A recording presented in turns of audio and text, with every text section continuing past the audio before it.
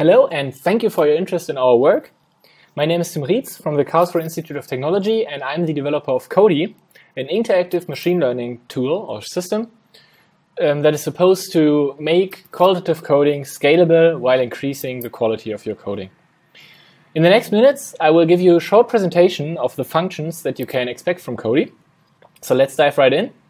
First of all, you can create a new document, upload it from your computer, and specify if it's text or if you used another um, of the implemented interview methods and specify unit of analysis, which means do you allow freeform annotations or does your annotation snap to the next paragraph, for example?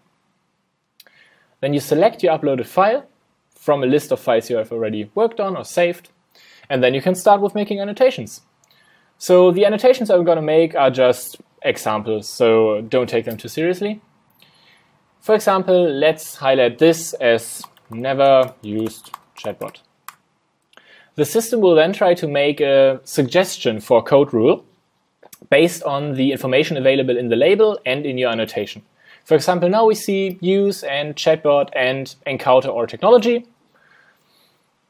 Doesn't even look too bad, but let's say it's encounter chatbot and never because label is never encountered.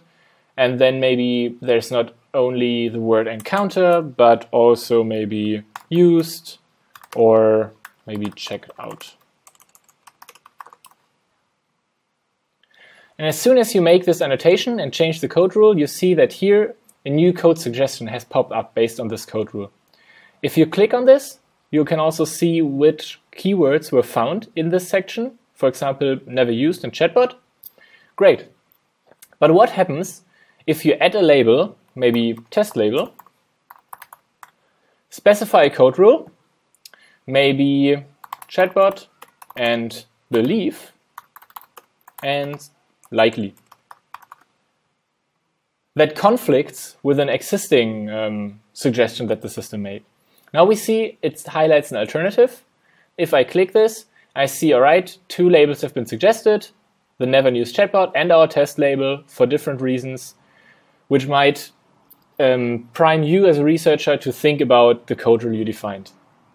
What the system also does is um, train a machine learning model in the background based on the annotations you already made. Um, in comparison to code rules, you can see here 100% um, well confidence is shown because the code rule is either going to be matched or not matched. For machine learning, this value will um, be below 100%. And you can also see maybe shared res um, responsibility model why this suggestion was made based on the word that is highlighted in the keyword section. And sometimes this word might make sense, maybe for benefits of compliance um, automation, shared is a highly indicative word. Maybe it's not. The idea of the supervised machine learning model that we retrain in the background every time that you make an annotation or change an annotation is that it picks up on your annotation style, gets better the more annotations you make, and eventually will be good enough to hint you at maybe sort of false negatives of your code rules. So instances that you would want to code, but that are not yet included in your code rules, so you can adjust them. In the end, ideally, you as a researcher or you as a research group are able to define precise code rules for every label that you could then also transfer to a new document or unseen data and sort of in a semi-automatic fashion extend your coding to these unseen data. And you can also have an overview of how many codes you have already used this is pretty much below 30 right here.